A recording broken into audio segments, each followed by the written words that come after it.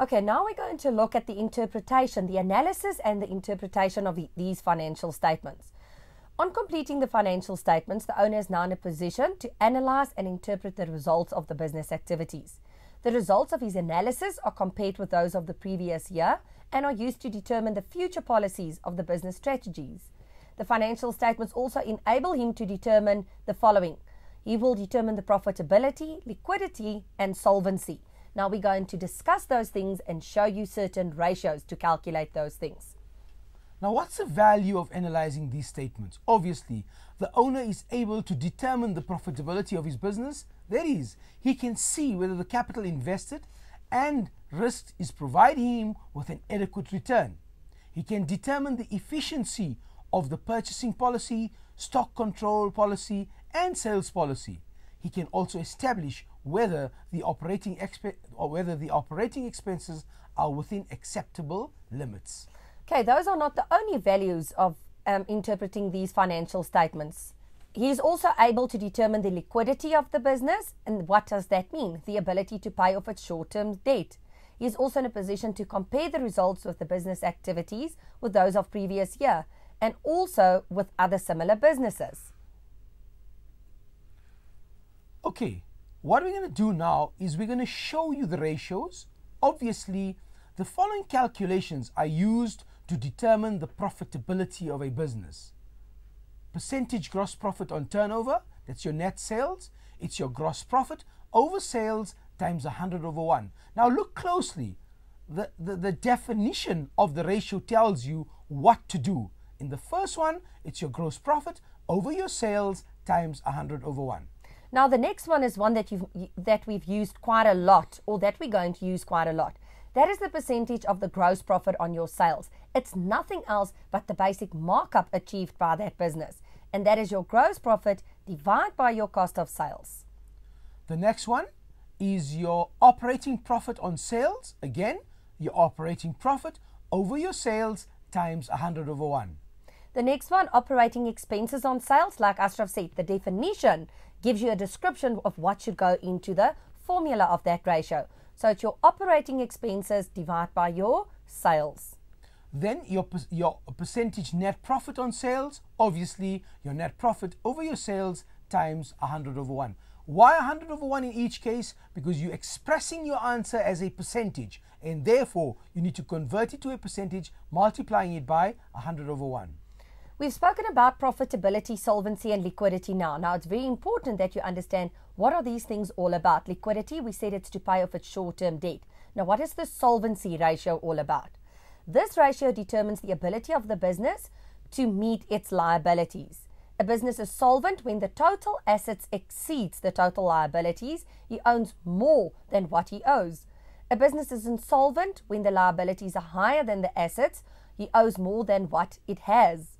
The amount by which the assets exceeds the total liabilities is in fact the owner's equity. Now, what is owner's equity? It is the assets minus the liabilities. Remember, we spoke about accounting equation. Assets equals owner's equity plus liabilities. And the to- total solvency ratio is calculated as follows, where we say total assets to total liabilities. Now, it's important that you know what is total assets made up out of. It is my fixed assets, which is my non-current assets, and my current assets.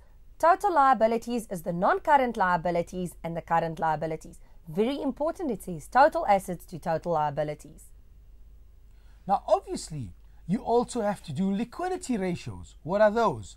The ability for a business to meet its short term debts. In other words, the ratio is a comparison between current assets and current liabilities. Current assets should be higher than current liabilities, one should always have more than what one owes. Many accountants feel that the current ratio should be approximately 2 is to 1 to avoid liquidity problems. This is not a norm, as many businesses may operate successfully with a less favorable ratio.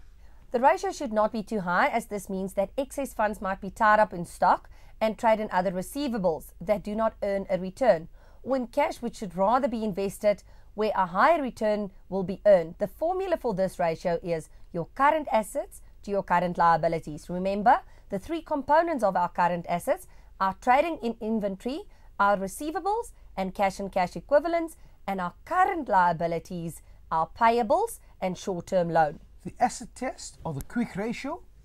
Again, where does it get its name from? The name acid test was the actual acid that used to be poured to check whether the gold was actually fool's gold or real gold. So it's a quick test to check. In accounting terms, this ratio tests the ability of a business to meet its current liabilities under abnormal conditions. That is, when a business is experiencing a severe decline in sales, economic depression, etc. The current ratio includes trading stock. The acid test ratio excludes trading stock. Very important feature of this ratio. For a business to quickly pay off its debts, it would have to sell its stock first. Selling stock under pressure could result in huge losses. Stocks may have to be sold below cost. Now, very important to remember that the acid test ratio tests the liquidity of a business without being compelled to sell its stock. Only trade and other receivables and cash are considered in this calculation. These two current assets are the quick assets, and many accountants feel that the quick asset ratio should be at least 1 to 1.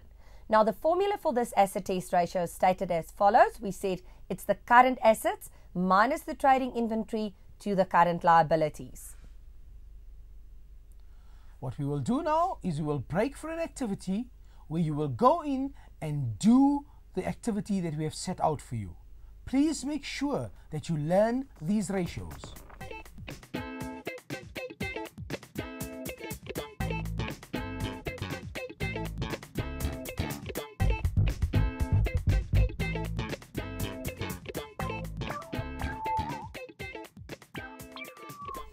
I'm sure you're now in a position to actually complete the ratios. It's very important that you know the formulas of those ratios, and it's very important that you also know the format of what my income statement should look like because you're going to deal with this quite a lot.